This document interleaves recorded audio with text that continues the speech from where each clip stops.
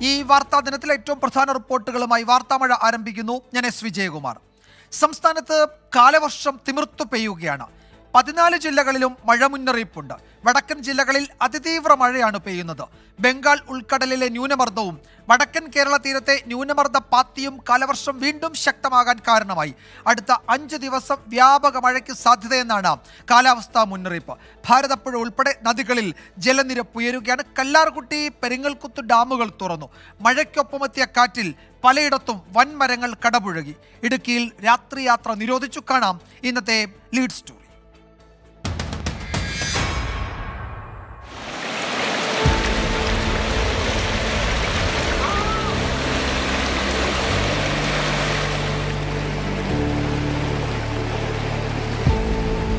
പന്തളത്താണ് വൈകുന്നേരം നാല് മണിയോടെ മിന്നൽ ചുഴലിക്കാറ്റുണ്ടായത്.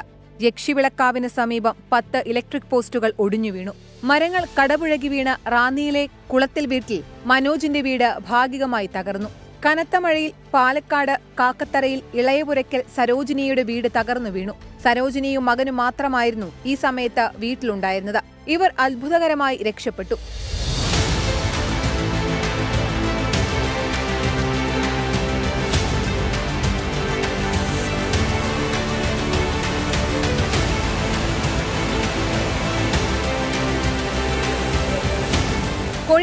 നാദാപുരത്ത് ഇയ്യങ്കോട് വെളിയാറ വിമലയുടെ ഇരുനില വീടും മഴയിൽ തകർന്നു. വിമല മകന്റെ കൂടെ താമസിക്കുന്നതിനാൽ അപകടം ഒഴിവായി. ചാലിയത്ത് വിറകുപുര വീണ് ഓട്ടോറിക്ഷ തകർന്നു. ചാലിയം കുന്നുമ്മൽ മൊയ്തീൻ കോയയുടെ വീടിന്റെ വിറകുപുരയാണ് തകർന്നത്. Palakkad Thanneercode senior basic school കെട്ടിടത്തിന്റെ മുകളിലേക്ക് മരം വീണ് ഓടുകൾ തകർന്നു. ചുമരുകൾക്കും ബലക്ഷയം സംഭവിച്ചതിനാൽ സ്കൂളിന് നേരത്തെ അവധി പ്രഖ്യാപിച്ചതിനാൽ വൻ ദുരന്തം ഒഴിവായി.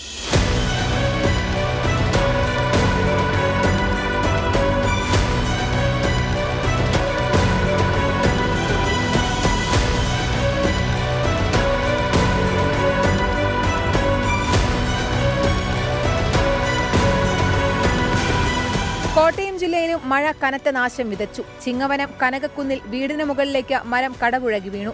പാമ്പാടി ചെമ്പക്കരയിൽ സ്കൂട്ടർ യാത്രികന്റെ മുകളിലേക്കാണ് മരം വീണത്. വൈക്കത്ത് വെച്ചൂർ റോഡിൽ കാറുകളുടെ മുകളിലേക്ക് മരം വീണു. എറണാകുളം എടക്കാട്ടുവയലിൽ മഴയിൽ വ്യാപക നാശനഷ്ടമുണ്ടായി. മരങ്ങൾ വീണ് ഗതാഗതം തടസ്സപ്പെട്ടു. വൈദ്യുത ബന്ധം തകരാറിലായി.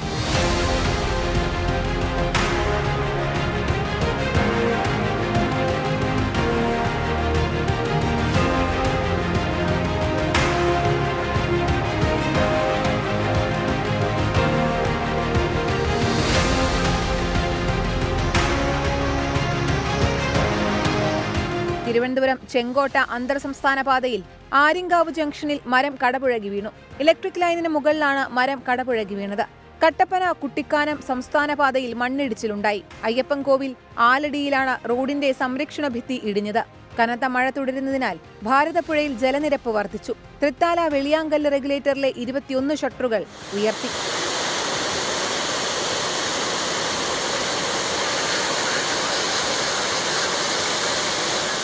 ന്യൂസ് ഡെസ്ക് ട്വന്റി രാത്രിയിലും കനത്ത മഴ തുടരുകയാണ്. ഇടുക്കി ജില്ലയിലാണ് അതീവ ജാഗ്രതാ നിർദ്ദേശം നൽകിയിരിക്കുന്നത്. നാളെ രാവിലെ ആറു മണിവരെ യാത്രാ നിരോധനം ഏർപ്പെടുത്തിയിട്ടുണ്ട്. കല്ലാർകുട്ടി ഡാമിന്റെ മൂന്ന് ഷട്ടറുകൾ വൈകുന്നേരത്തോടെ ഉയർത്തി. മൂന്നാർ മറയൂർ സംസ്ഥാന പാതയിൽ മരം വീണും ചെറുതോണി കട്ടപ്പന റോഡിൽ പാറ വീണും ഗതാഗതം തടസ്സപ്പെട്ടു. കൊച്ചി മരടിൽ തിരുവനന്തപുരം കഴക്കൂട്ടം കൊല്ലം കടയ്ക്കൽ കാസർഗോഡ് കോട്ടപ്പുറം തുടങ്ങിയ സ്ഥലങ്ങളിലും വീടുകൾക്കും വാഹനങ്ങൾക്കും മുകളിലേക്ക് മരം വീണു. ആളപായമില്ല. പലയിടങ്ങളിലും ഗതാഗതം ആ, വൈദ്യുതി വിതരണവും ഒക്കെ തടസ്സപ്പെട്ടിട്ടുണ്ട്. കോഴിക്കോട് കൂടരഞ്ഞി കക്കാടംപൊയിൽ റോഡിൽ അതുപോലെ ചാലക്കുടിയിലും വീടിന് സമീപത്തും മണ്ണിടിഞ്ഞിട്ടുണ്ട്. പത്തനംതിട്ട അരയാഞ്ഞിലി മണ്ണിൽ ഇരുന്നൂറോളം കുടുംബങ്ങൾ ആശ്രയിക്കുന്ന കോസ്വേ മുങ്ങി. രാഹുൽ വിജയനും സമീർ സി മുഹമ്മദും സുരേഷ് സജിയും വിവരങ്ങൾ നൽകും.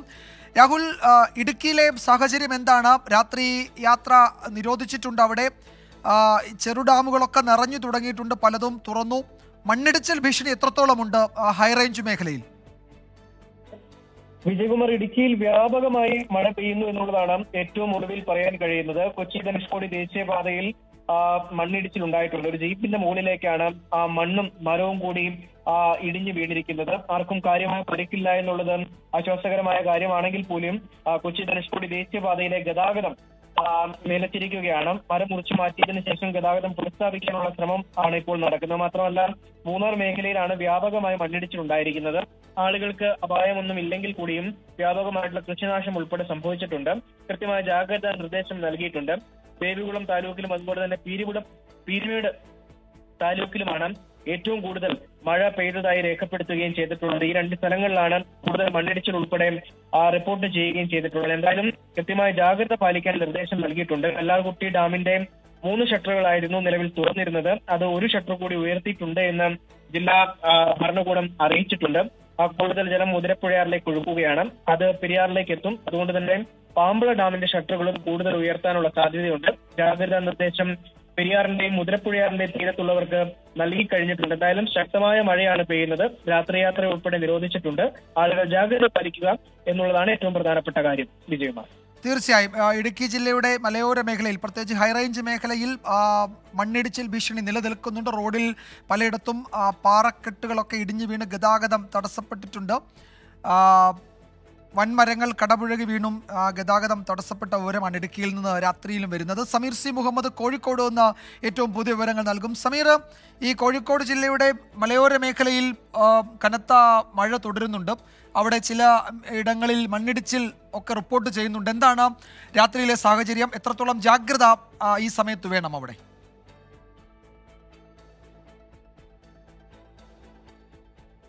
വിജയകുമാർ പകൽ സമയത്തുണ്ടായിരുന്നത് പോലെ തന്നെ സന്ധ്യയോടെ ആ മഴയ്ക്ക് ഇപ്പോഴും ഒരു ശമരവുമായിട്ടുള്ള ശക്തമായ മഴ തുടരുന്നുണ്ട്. പ്രധാനമായും കോഴിക്കോട് ജില്ലയെ സംബന്ധിച്ച് മലയോര മേഖലയിൽ തന്നെയാണ് വ്യാപകമായിട്ടുള്ള നാശനഷ്ടങ്ങളും ഉണ്ടായിരിക്കുന്നത്. അതിൽ നാദാപുരത്താണ് ഒരു വീടിന് വീട് പൂർണമായും നശിക്കുന്ന ഒരു സാഹചര്യം ഉണ്ടായത് ശക്തമായ മഴയിൽ ഇരുനില വീട് നിലം പൊതിക്കുകയായിരുന്നു. ആ വീട്ടമ്മ ഉൾപ്പെടെ ഉള്ളവർ അവിടെ നിന്ന് മാറിയുന്നു എന്നുള്ളത് കൊണ്ടാണ് വലിയ ഒരു ദുരന്തം വഴിമാറിയത്. അതുപോലെ തന്നെ മുക്കം കക്കാടംപൊയിൽ ഭാഗത്തും ഇപ്പോഴും മഴ തുടരുന്നു. അവിടെങ്ങളിലും വലിയ രീതിയിലുള്ള നാശനഷ്ടങ്ങൾ ഉണ്ടായിട്ടുണ്ട്. റോഡിലേക്കാണ് മരങ്ങളും അതുപോലെ തന്നെ മണ്ണും ഇടിഞ്ഞു വീണിരിക്കുന്നത് ആ റോഡ് ഗതാഗതം പുനഃസ്ഥാപിക്കാനുള്ള നടപടികൾ ഇപ്പോഴും തുടരുകയാണ്. അതുപോലെ തന്നെ മരങ്ങൾ വീണുകൊണ്ട് വിവിധ ഇടങ്ങളിൽ വൈദ്യുതി പോസ്റ്റുകൾ വീഴുകയും വൈദ്യുതി തടസ്സം നേരിടുകയും ചെയ്യുന്നുണ്ട്. അത്തരം കാര്യങ്ങളിൽ കെ എസ് ബി ഉദ്യോഗസ്ഥരും എത്തിക്കൊണ്ട് വൈദ്യുതി പുനഃസ്ഥാപിക്കാനുള്ള ശ്രമങ്ങളും തുടരുകയാണ്.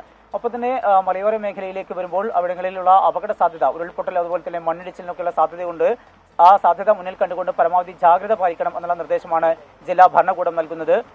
പ്രധാനമായും ഈ മുഖ്യമേഖല അതുപോലെ താമരശ്ശേരി ഭാഗത്തൊക്കെയാണ് കഴിഞ്ഞ ദിവസങ്ങളിൽ ഉരുൾപൊട്ടൽ ഉണ്ടാവുകയും വലിയ രീതിയിലുള്ള അപകടങ്ങൾ ഉണ്ടാവുകയും ചെയ്തത് അത്തരം സാഹചര്യങ്ങളെല്ലാം തന്നെ മുൻനിർത്തിക്കൊണ്ടാണ് ജില്ലാ ഭരണകൂടം ഇത്തരത്തിലുള്ള ഒരു മാർഗനിർദ്ദേശം മാർഗനിർദ്ദേശം നൽകിയിരിക്കുന്നത് കനത്ത ജാഗ്രതാ നിർദ്ദേശം നൽകിയിരിക്കുന്നത്.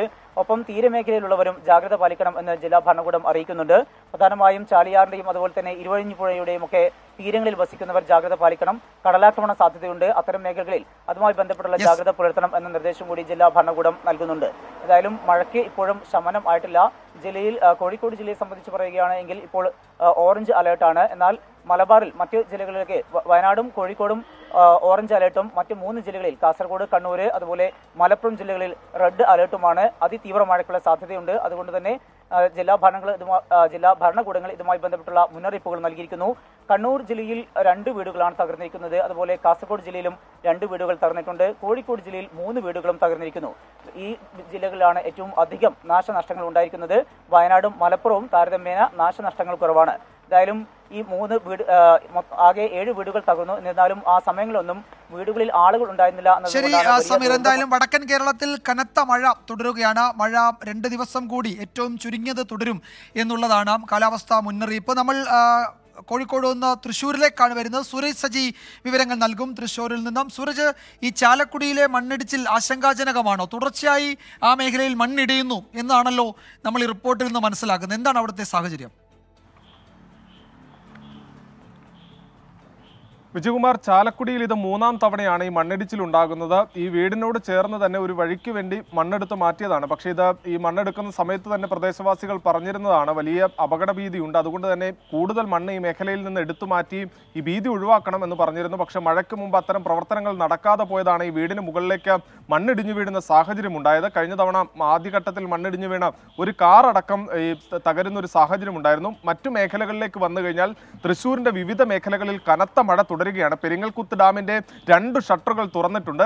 ഇരുപത് മീറ്റർ വീതം വെള്ളം ഷട്ടർ താഴ്ത്തിക്കൊണ്ട് വെള്ളം ഒഴുക്കിക്കളയാനുള്ള ഒരു ശ്രമമാണ് നിലവിൽ ജില്ലാ ഭരണകൂടം നടത്തുന്നത്. പക്ഷേ ഒരു സാങ്കേതിക പ്രശ്നം എന്തെന്ന് വെച്ച് കഴിഞ്ഞാൽ വലിയ രീതിയിലുള്ള നീരൊഴുക്ക് ഈ മേഖലയിൽ വർദ്ധിച്ചിരിക്കുന്നു എന്നുള്ളതാണ് ഈ ഡാം അധികൃതർ വ്യക്തമാക്കുന്നത്. അതുകൊണ്ട് തന്നെ രാത്രി കൂടുതൽ വെള്ളം ഒഴുക്കിക്കളയേണ്ട ഒരു സാഹചര്യം ഉണ്ടായേക്കാം എന്നുള്ളതാണ് ഇപ്പോൾ നമുക്ക് ലഭിക്കുന്ന വിവരം. അതുകൊണ്ട് തന്നെ ഈ ചാലക്കുടി പുഴയുടെ തീരത്തുള്ളവർ അതീവ ജാഗ്രത പാലിക്കണം എന്നൊരു നിർദ്ദേശമാണ് ജില്ലാ ഭരണകൂടം മുന്നോട്ട് വെക്കുന്നത്. രാത്രി സമയങ്ങളിൽ കൂടുതൽ ജലം ഒഴുക്കിക്കളയേണ്ട ഒരു സാഹചര്യം വന്നു കഴിഞ്ഞാൽ ചാലക്കുടി പുഴയിലെ ജലനിരപ്പ് ഉയരാനുള്ള ഒരു സാഹചര്യമുണ്ട്. അതുകൊണ്ട് തന്നെ ഈ ചാലക്കുടി പുഴയുടെ തീരങ്ങളിലുള്ളവർ പ്രത്യേക ജാഗ്രത പാലിക്കണമെന്ന് ജില്ലാ ഭരണകൂടം നിർദ്ദേശം മുന്നോട്ട് വെക്കുന്നു. മറ്റു മേഖലകളിലേക്ക് വന്നാൽ കുന്നംകുളത്തടക്കം ഈ കനത്ത കാറ്റിൽ വലിയ നാശനഷ്ടം റിപ്പോർട്ട് ചെയ്യുന്നുണ്ട്. വിവിധ മേഖലകളിൽ കുന്നംകുളത്ത് ഈ മരം മറിഞ്ഞു വീണതിനെ തുടർന്ന് ഈ വൈദ്യുതി ബന്ധമടക്കം വിച്ഛേദിക്കപ്പെട്ടിട്ടുണ്ട്. വീടുപാട് വീടുകൾക്ക് കേടുപാടുകൾ സംഭവിച്ചിട്ടുണ്ട്.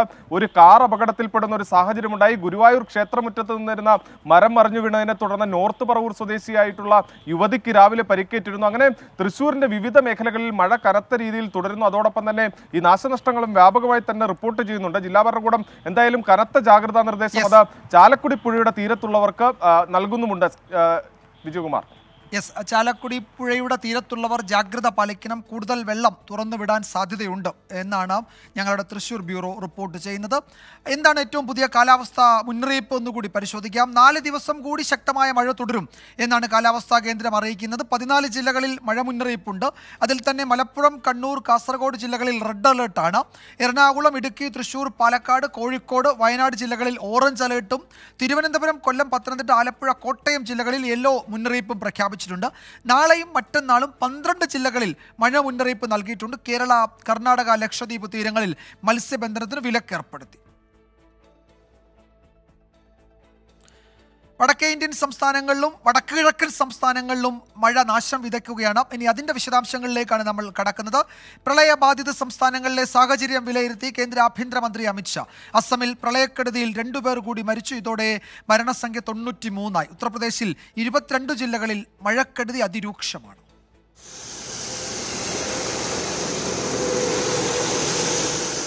പ്രളയബാധിത സംസ്ഥാനങ്ങളായ അസം ഉത്തർപ്രദേശ് ബീഹാർ എന്നിവിടങ്ങളിലെ സ്ഥിതിഗതികൾ കേന്ദ്ര ആഭ്യന്തരമന്ത്രി അമിത് ഷാ വിലയിരുത്തി. സംസ്ഥാനങ്ങളിലെ മുഖ്യമന്ത്രിമാരുമായി സംസാരിച്ചു. കേന്ദ്രത്തിന്റെ പിന്തുണയും സഹായവും ഉണ്ടാകുമെന്ന് ഉറപ്പു നൽകി. അസമിൽ ഇപ്പോഴും പ്രളയക്കെടുതി തുടരുകയാണ്. ഇന്ന് രണ്ടു മരണം കൂടിയുണ്ടായി. ഇതോടെ അസമിൽ പ്രളയക്കെടുതിയിൽ മരിച്ചവരുടെ എണ്ണം തൊണ്ണൂറ്റിമൂന്നായി. എട്ട് ലക്ഷത്തോളം പേർ ഇപ്പോഴും ദുരിതത്തിലാണ്. നിരവധി പേർ വിവിധയിടങ്ങളിൽ ക്യാമ്പുകളിൽ കഴിയുന്നുണ്ട്. ഉത്തർപ്രദേശിൽ ഇരുപത്തിരണ്ട് ജില്ലകളിലായി ആയിരത്തിലേറെ പേർ മഴക്കെടുതിയിൽ ദുരിതത്തിലായി. റാംഗംഗ റപ്തി തുടങ്ങി പ്രധാന നദികളിൽ ജലനിരപ്പ് അപകടനിലയ്ക്ക് മുകളിലാണ്. ഉത്തർപ്രദേശ് മുഖ്യമന്ത്രി യോഗി ആദിത്യനാഥ് ദുരിതബാധിത മേഖലകളിലെ സ്ഥിതിഗതികൾ വിലയിരുത്തി. ബീഹാറിലും നിരവധി ഗ്രാമങ്ങൾ ഇപ്പോഴും വെള്ളക്കെട്ടിലാണ്. ഡൽഹിയിലും ഒറ്റപ്പെട്ട ഇടങ്ങളിൽ മഴയുണ്ടായി. താഴ്ന്ന മേഖലകളിൽ വെള്ളക്കെട്ട് രൂപപ്പെട്ടു. ട്വന്റി ഡൽഹി.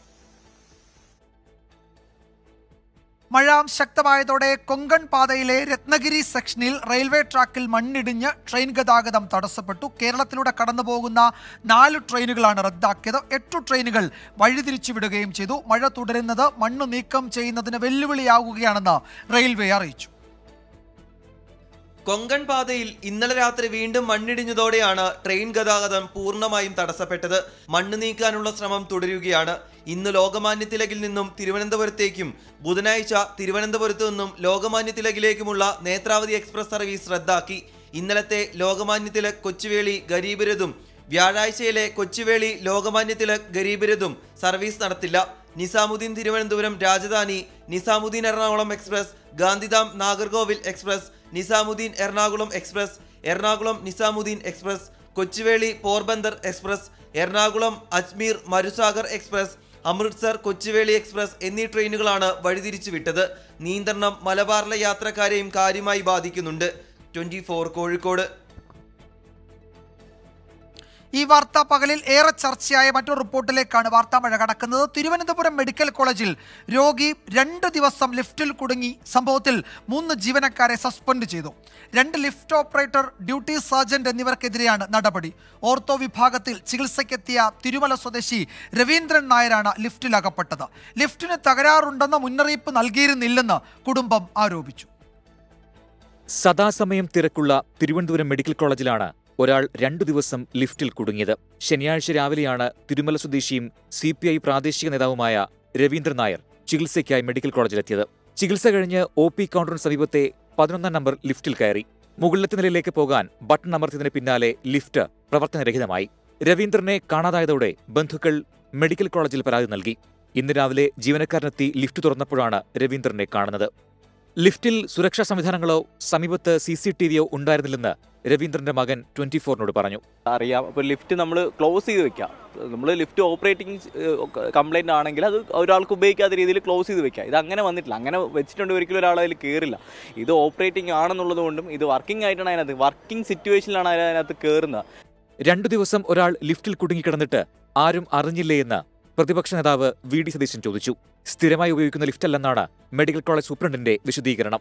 സംഭവത്തിൽ ആരോഗ്യമന്ത്രി അന്വേഷണത്തിന് ഉത്തരവിട്ടതിന് പിന്നാലെ മൂന്ന് ജീവനക്കാരെ സസ്പെൻഡ് ചെയ്തു. രണ്ട് ലിഫ്റ്റ് ഓപ്പറേറ്റേഴ്സ് ഡ്യൂട്ടി സർജൻ എന്നിവർക്കെതിരെയാണ് നടപടി. M G Prateesh twenty Thiruvananthapuram.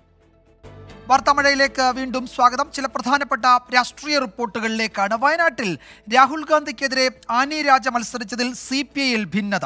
നടപടി രാഷ്ട്രീയ വിവേകമില്ലായ്മയായിരുന്നു അത്. ദേശീയ നേതൃയോഗത്തിൽ വിമർശനമുയർന്നു. ഇക്കാര്യം തെരഞ്ഞെടുപ്പിന് മുൻപ് തന്നെ നേതൃത്വത്തിന്റെ ശ്രദ്ധയിൽപ്പെടുത്തിയതായി ആനി രാജ യോഗത്തെ അറിയിച്ചു. വയനാട്ടിലെ ഉപതെരഞ്ഞെടുപ്പിൽ പ്രിയങ്ക ഗാന്ധിക്കെതിരെ സ്ഥാനാർത്ഥിയെ നിർത്തുന്നതിൽ തീരുമാനം പിന്നീടായിരിക്കും.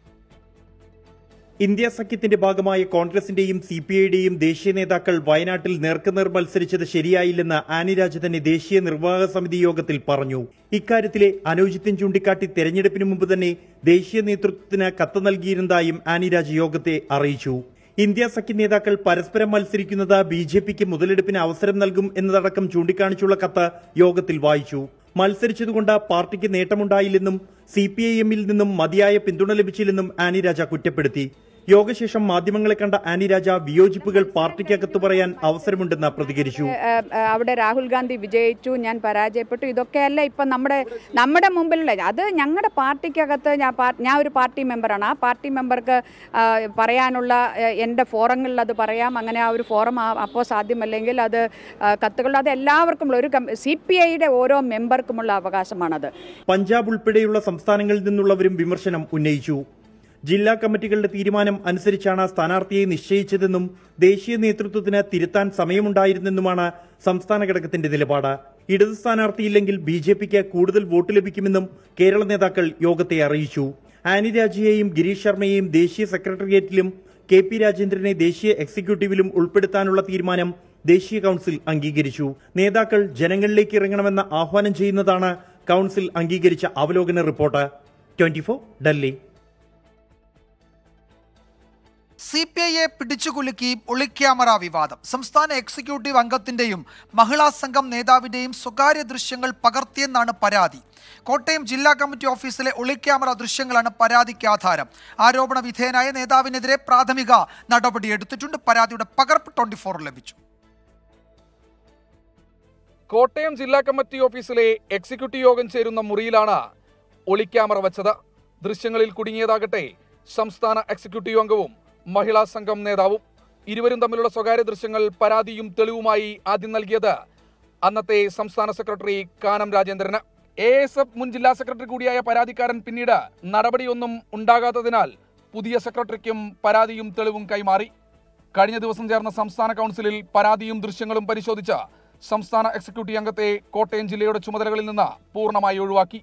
സംഭവത്തിൽ സമഗ്രാന്വേഷണം വേണമെന്ന സംസ്ഥാന കൗൺസിലിൽ ഒരു വിഭാഗം ആവശ്യമുന്നയിച്ചതായാണ് വിവരം. എന്നാൽ ഒളിക്യാമറ വെച്ചതാരാണെന്ന് പരിശോധിക്കാൻ നേതൃത്വം ഇതുവരെ തയ്യാറായിട്ടുമില്ല. Sree Sreekumaran twenty four Pathanamthitta. മറ്റൊരു പ്രധാന റിപ്പോർട്ടിലേക്ക്. കണ്ണൂരിൽ പെട്രോൾ പമ്പ് ജീവനക്കാരനെ കാറിടിച്ച് കൊല്ലാൻ ശ്രമിച്ച കേസിൽ പോലീസുകാരൻ റിമാൻഡിൽ. Kannur A R camp driver Santhosh കുമാറിനെയാണ് Kannur magistrate കോടതി റിമാൻഡ് ചെയ്തത്. ഇന്ധനം നിറച്ചതിന്റെ മുഴുവൻ പണവും നൽകാത്തത് ചോദ്യം ചെയ്തതാണ് പ്രകോപനത്തിന് കാരണം. സന്തോഷ് കുമാറിനെ സർവീസിൽ നിന്ന് സസ്പെൻഡ് ചെയ്തു. ഇന്നലെ വൈകിട്ടാണ് കണ്ണൂർ ടൗണിലെ എൻ കെ ബി ടി പമ്പിൽ ഞെട്ടിക്കുന്ന അതിക്രമം അരങ്ങേറിയത്.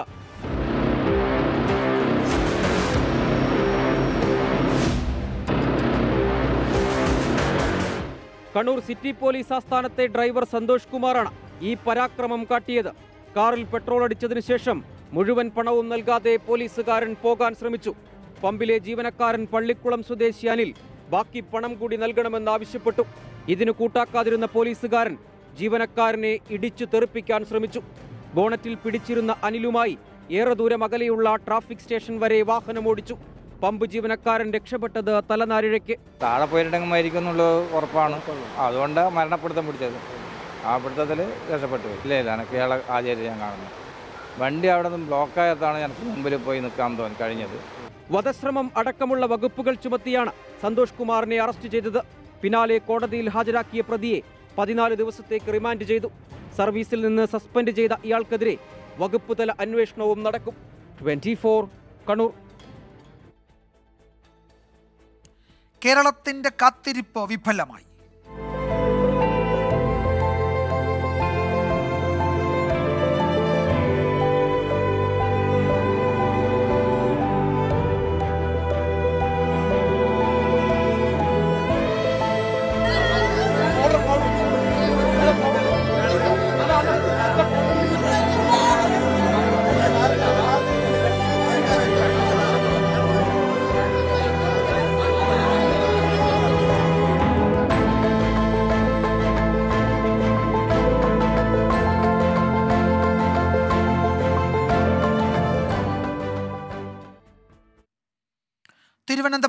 ആമയിഴഞ്ചാൻ തോട്ടിൽ ഒഴുക്കിൽപ്പെട്ട് മരിച്ച ശുചീകരണ തൊഴിലാളി എൻ ജോയിയുടെ മൃതദേഹം സംസ്കരിച്ചു. മാരായമുട്ടത്തെ വീട്ടുവളപ്പിലായിരുന്നു സംസ്കാരം. അന്തിമോപചാരം അർപ്പിക്കാൻ ആയിരങ്ങളാണ് എത്തിയത്. ജോയിയുടെ കുടുംബത്തിന് അടിയന്തര ധനസഹായം നൽകാൻ സർക്കാരിനോട് ശുപാർശ ചെയ്തതായി മേയർ ആര്യ രാജേന്ദ്രൻ പറഞ്ഞു. നാൽപ്പത്തിയേഴ് മണിക്കൂറത്തെ തെരച്ചിലിനൊടുവിൽ ഇന്ന് രാവിലെയാണ് ജോയിയുടെ മൃതദേഹം തകരപ്പറമ്പിന് സമീപം പൊങ്ങിയത്. ജീർണിച്ച നിലയിലായിരുന്നു മൃതദേഹം. പോസ്റ്റ്മോർട്ടം നടപടികൾക്കായി മൃതദേഹം മെഡിക്കൽ കോളേജിൽ എത്തിച്ചു മന്ത്രിമാരും മേയറും ജനപ്രതിനിധികളും മെഡിക്കൽ കോളേജിലെത്തി. മൂന്ന് ദിവസം രാപ്പകലില്ലാതെ ശ്രമിച്ചിട്ടും ജോയിയുടെ ജീവൻ രക്ഷിക്കാനാകാത്തതിൽ മേയർ ആര്യ രാജേന്ദ്രൻ വിങ്ങിപ്പൊട്ടി.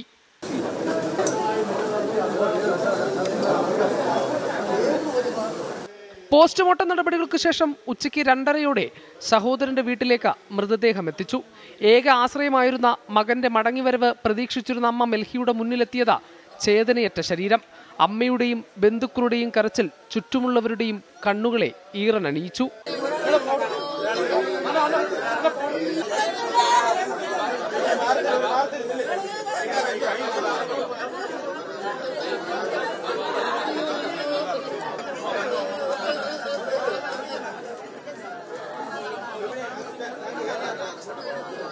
കുടുംബത്തിന് അടിയന്തര ധനസഹായം നൽകണമെന്ന് സർക്കാരിനോട് ആവശ്യപ്പെട്ടതായി മേയർ ആര്യ രാജേന്ദ്രൻ. മുഖ്യമന്ത്രിയുടെ നിർദ്ദേശപ്രകാരം രാവിലെ തന്നെ ജില്ലാ കളക്ടറോട് അതിന്റെ റിപ്പോർട്ട് ആവശ്യപ്പെട്ടിരുന്നു. ബഹുമാന്യനായ കളക്ടർ രാവിലെ തന്നെ ധനസഹായം നൽകണം എന്ന റിപ്പോർട്ട് എം എൽ എയുടെ കത്തിന്റെ അടിസ്ഥാനത്തിൽ തന്നെ ആ റിപ്പോർട്ട് ഗവൺമെന്റിലേക്ക് എത്തിച്ചിട്ടുണ്ട്. കുടുംബത്തിനുള്ള ധനസഹായം സംബന്ധിച്ച് അടുത്ത മന്ത്രിസഭാ യോഗത്തിൽ തീരുമാനമെടുക്കും. റെയിൽവേ പ്ലാറ്റ്ഫോമിനടിയിലെ മാലിന്യം നീക്കുന്നത് സംബന്ധിച്ചും ഉടൻ തീരുമാനമുണ്ടാകും. ഇവിടെ നിന്നുമാണ് ജോയി ശുചീകരണ പ്രവർത്തനങ്ങൾക്കായി തിരുവനന്തപുരം നഗരത്തിലേക്ക് എത്തിയത് മടങ്ങി വരുമെന്ന ഉറപ്പിന്മേൽ അപകട വാർത്ത എത്തുമ്പോഴും മടങ്ങി വരുമെന്ന പ്രതീക്ഷ കുടുംബത്തിനുണ്ടായിരുന്നു. പക്ഷേ മടങ്ങിയെത്തിയില്ല.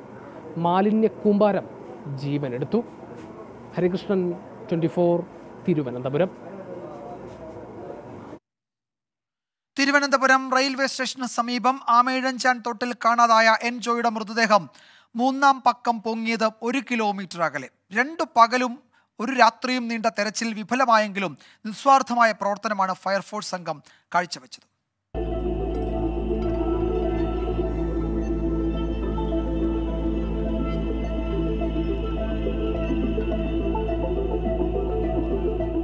തമ്പാനൂർ റെയിൽവേ സ്റ്റേഷനിലെ ഒന്നാം നമ്പർ പ്ലാറ്റ്ഫോമിന് സമീപത്തുള്ള ടണലിന് തൊട്ടു മുൻപിലാണ് ജോയി കഴിഞ്ഞ ശനിയാഴ്ച മുങ്ങിത്താഴ്ന്നത്.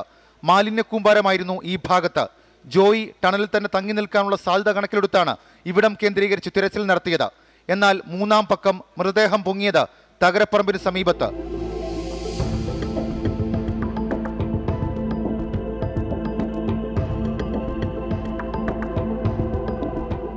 റെയിൽവേ സ്റ്റേഷന് പിൻവശത്തുള്ള ടണൽ എക്സിറ്റും കടന്ന് പുത്തരിക്കണ്ട മൈതാനവും പഴവങ്ങാടിയും പിന്നിട്ട് മൃതദേഹം തകരപ്പറമ്പ് വരെ ഒഴുകി. ഇന്നലെ ടണലിൽ വെള്ളത്തിന്റെ അളവ് കൂടിയതിനാൽ മാലിന്യ കൂമ്പാരത്തിനടിയിലൂടെ മൃതദേഹം ഒഴുകിയെത്തിയതാകാമെന്നാണ് വിലയിരുത്തൽ. നഗരസഭയുടെ നിർദ്ദേശത്തിന്റെ അടിസ്ഥാനത്തിൽ ശുചീകരണ തൊഴിലാളികൾ നടത്തിയ പരിശോധനയിലാണ് മൃതദേഹം കണ്ടെത്തിയത്. ശനിയാഴ്ച രാവിലെ പത്തര മുതൽ ഇന്ന് രാവിലെ എട്ട് മണിവരെ ഫയർഫോഴ്സ് റെസ്ക്യൂ സംഘവും സ്ക്യൂബ ഡൈവിംഗ് സംഘവും തെരച്ചിൽ നടത്തിയിരുന്നു. വർഷങ്ങളായി കക്കൂസ് മാലിന്യം വരെ ഒഴുകിയെത്തുന്ന തോട്ടിലായിരുന്നു ജീവന് വേണ്ടിയുള്ള തെരച്ചിൽ. എൻ ഡി ആർ എഫ് സംഘവും സഹായിക്കാനായെത്തി. രക്ഷാപ്രവർത്തനത്തിൽ കൈമൈ മറന്ന് പ്രവർത്തിച്ചവരോട് നാടിനുവേണ്ടി നന്ദി പറയുന്നുവെന്ന് മുഖ്യമന്ത്രി പിണറായി വിജയൻ. തിരച്ചിൽ നടത്തിയ സംഘത്തെ ഫയർഫോഴ്സ് മേധാവി കെ പത്മകുമാർ നേരിട്ടെത്തി അഭിനന്ദനം അറിയിച്ചു. കൊച്ചിയിൽ നിന്നെത്തിയ നാവികസേന തിരച്ചിൽ ആരംഭിച്ചതിന് പിന്നാലെയാണ് മൃതദേഹം തൊട്ടപ്പുറത്ത് പൊങ്ങിയത്. ട്വന്റി തിരുവനന്തപുരം. ആമയിഴഞ്ചാൻ തൊട്ടിൽ ശുചീകരണ തൊഴിലാളി മരിച്ച സംഭവത്തിൽ രാഷ്ട്രീയ വാക്പോര് തുടരുകയാണ്.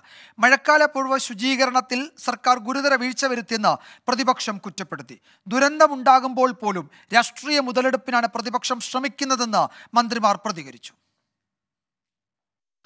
മഴക്കാല ശുചീകരണ പ്രവർത്തനം നിയമസഭയിൽ പ്രതിപക്ഷം ഉന്നയിച്ച വിഷയമാണെന്ന പ്രതിപക്ഷ നേതാവ് വി ഡി സതീശൻ സർക്കാർ നോക്കുകുത്തിയാകുന്നു. കോർപ്പറേഷനും റെയിൽവേയും തമ്മിലുള്ള പ്രശ്നം തീർപ്പാക്കണം. സംസ്ഥാനത്ത് വകുപ്പുകൾ തമ്മിൽ ഏകോപനമില്ലെന്നും പ്രതിപക്ഷ നേതാവ്. ഇത് ഏതെങ്കിലും ഒരു വകുപ്പ് മാത്രം ചെയ്യേണ്ടതല്ല എന്ന് ഞങ്ങൾ പറഞ്ഞു. ഏകോപനമുണ്ടാകണം വകുപ്പുകൾ തമ്മിൽ. തദ്ദേശ സ്വയംഭരണ വകുപ്പ് ആരോഗ്യ വകുപ്പ് അല്ലെ വിവിധ വകുപ്പുകൾ തമ്മിലുള്ള ഏകോപനം കേരളത്തിൽ ഉണ്ടായില്ല. ഇത് ഞങ്ങൾ ചൂണ്ടിക്കാണിച്ചപ്പോൾ ഞങ്ങളെ പരിഹസിച്ചു. ഇപ്പോൾ യഥാർത്ഥത്തിൽ കേരളത്തിൽ നടന്നുകൊണ്ടിരിക്കുന്നത് എന്താണ്? അപകടകരമായ രീതിയിലേക്കാണ് കേരളം പോകുന്നത്. മാലിന്യ നിർമ്മാർജനത്തിൽ ഗുരുതര വീഴ്ച വരുത്തിയതാണ് ആമയിഴഞ്ചാൻ തോട്ടിലെ രക്ഷാപ്രവർത്തനത്തിന് പ്രതിസന്ധി സൃഷ്ടിച്ചതെന്ന് K P C C president K Sudhakaran. സെക്രട്ടേറിയറ്റിന്റെ സമീപത്ത് ഇതുപോലൊരു ദുരന്തമുണ്ടായിട്ടും സ്ഥലത്തെത്താൻ മുഖ്യമന്ത്രി തയ്യാറായില്ലെന്നും വിമർശനം. എന്നാൽ ദുരന്തത്തിൽ പോലും പ്രതിപക്ഷം രാഷ്ട്രീയ മുതലെടുപ്പിന് ശ്രമിക്കുകയാണെന്ന് മന്ത്രി എം രാജേഷ് കുറ്റപ്പെടുത്തി. ഒരു ദുരന്തമുണ്ടാവുമ്പോൾ അതിൽ നിന്ന് കിട്ടാൻ പോകുന്ന രാഷ്ട്രീയ ലാഭത്തെക്കുറിച്ച് സന്തോഷം പൂണ്ട് ചാടി വീഴുന്നത് ഒരു പരിഷ്കൃത സമൂഹത്തിന് ഭൂഷണമാണോ എന്ന കാര്യം അങ്ങനെ ചാടി വീണ് എല്ലാവരും ആലോചിക്കേണ്ടതാണ്. രക്ഷാദൗത്യത്തിന് എല്ലാ സാധ്യതകളും ഉപയോഗിച്ചെന്നും ദുഷ്ടലാക്കോടെയുള്ള പ്രസ്താവനകൾ പിൻവലിക്കണമെന്നും മന്ത്രി വി ശിവൻകുട്ടി. ഈ മഴക്കാല പൂർവ ശുചീകരണം നടക്കാത്ത നടക്കാത്തതുകൊണ്ടാണ് എന്നുള്ള പ്രതിപക്ഷ നേതാവിന്റെ ആക്ഷേപം എന്നൊക്കെ പറഞ്ഞാൽ അതെല്ലാം രാഷ്ട്രീയ ദുഷ്ടലാക്കോടുകൂടിയാണ്. ഇത്രയും സംഭവവികാസം ഉണ്ടായ ശേഷം അദ്ദേഹം സ്ഥലത്തു വന്ന് ഇതുവരെ തിരിഞ്ഞു നോക്കിയിട്ടില്ല. വെള്ളക്കെട്ട് പരിഹരിക്കുന്നതിൽ തിരുവനന്തപുരം നഗരസഭയ്ക്ക് ഗുരുതര വീഴ്ചയുണ്ടായെന്ന ബി ജെ പി സംസ്ഥാന അധ്യക്ഷൻ കെ സുരേന്ദ്രൻ. എല്ലാം റെയിൽവേയുടെ തലയിൽ കെട്ടിവെക്കാനാണ് ശ്രമമെന്നും മേയർക്കെതിരെ കേസെടുക്കണമെന്നും കെ സുരേന്ദ്രൻ ആവശ്യപ്പെട്ടു. Twenty four Thiruvananthapuram. Thiruvananthapuram Amayizhanjan തോട്ടിലെ ദുരന്തത്തിൽ സ്ഥലം സന്ദർശിച്ച് റിപ്പോർട്ട് നൽകാൻ അമിക്കസ് കൂടിയെ നിയോഗിച്ച് ഹൈക്കോടതി. കേസ് ഈ മാസം ഇരുപത്തിയാറിന് പരിഗണിക്കും. മാലിന്യം സംസ്കരിക്കുന്നത് എങ്ങനെയെന്ന് വിശദീകരിക്കാൻ തിരുവനന്തപുരം കോർപ്പറേഷനോട് കോടതി ആവശ്യപ്പെട്ടു. റെയിൽവേ ഭൂമിയിലെ മാലിന്യം നീക്കേണ്ടത് റെയിൽവേയുടെ ഉത്തരവാദിത്വമാണെന്നും കോടതി വ്യക്തമാക്കി. മറ്റൊരു റിപ്പോർട്ടിലേക്ക് കോഴിക്കോട് താമരശ്ശേരിയിൽ മൊബൈൽ ഫോൺ കടയുടമയെ തട്ടിക്കൊണ്ടുപോയി. മൂഴിക്കൽ സ്വദേശി ഹർഷാദിനെയാണ് തട്ടിക്കൊണ്ടുപോയത്.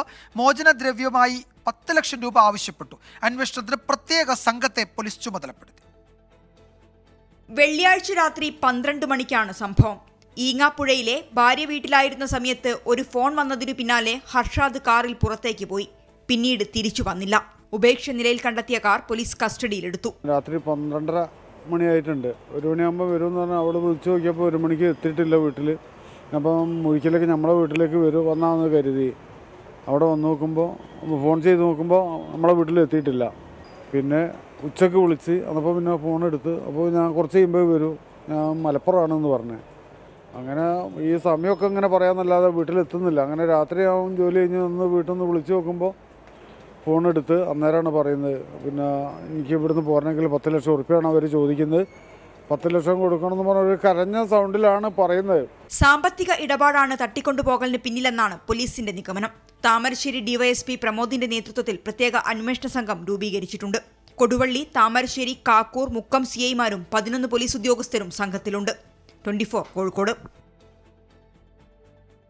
പാലക്കാട് പട്ടാമ്പി വിളയൂരിൽ നിയന്ത്രണം വിട്ട കാർ വീടിന്റെ മതിലിൽ ഇടിച്ച അപകടം. ഇന്ന് രാവിലെ ഒൻപത് മണിയോടെയായിരുന്നു സംഭവം. പട്ടാമ്പി ഭാഗത്ത് നിന്ന് പെരിന്തൽമണ്ണ ഭാഗത്തേക്ക് പോവുകയായിരുന്ന കാറാണ് അപകടത്തിൽപ്പെട്ടത്. വീടിന്റെ മതിൽ ഭാഗികമായി തകർന്നു. അപകടമുണ്ടാക്കിയ കാർ നിർത്താതെ പോയി. കാർ അമിത വേഗത്തിലായിരുന്നുവെന്ന് ദൃശ്യങ്ങളിൽ നിന്ന് വ്യക്തമാണ്.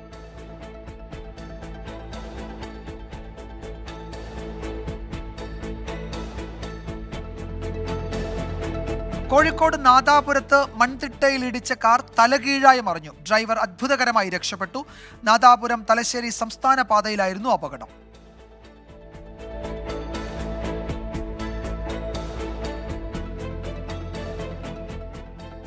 വിഴിഞ്ഞത്തെത്തിയ ആദ്യ മദർഷിപ്പ് സാൻ ഫെർണാണ്ടോ തുറമുഖം വിട്ടു. അറുന്നൂറ്റിയേഴ് കണ്ടെയ്നറുകളുമായാണ് കപ്പൽ മടങ്ങിയത്. സാൻ ഫെർണാണ്ടോ തുറമുഖ പരിധി വിട്ടതിന് പിന്നാലെ ഫീഡർ കപ്പലായ മാരിൻ അസൂറും തുറമുഖത്തെത്തി.